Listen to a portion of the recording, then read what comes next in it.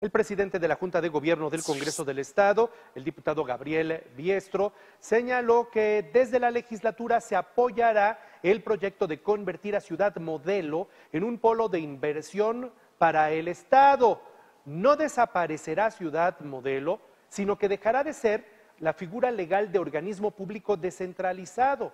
Regresará su territorio al control de sus respectivos municipios y se van a crear leyes y bases para que Ciudad Modelo pueda ser desarrollada y pueda convertirse en lo que originalmente se planeó, es decir, que haya una nueva ciudad en el estado de Puebla, allá en la zona de San José Chiapa, que permita la llegada de nuevas empresas y no solamente de Audi. Lo importante es que salga cuanto antes. ¿Por qué? Porque cuanto más se tarde, o sea, la gente sigue mucha de manera injusta en una cárcel.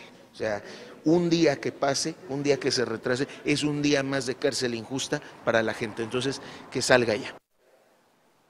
Un día que pase es un día en el que ese lugar pues, se, sigue, se sigue deteriorando.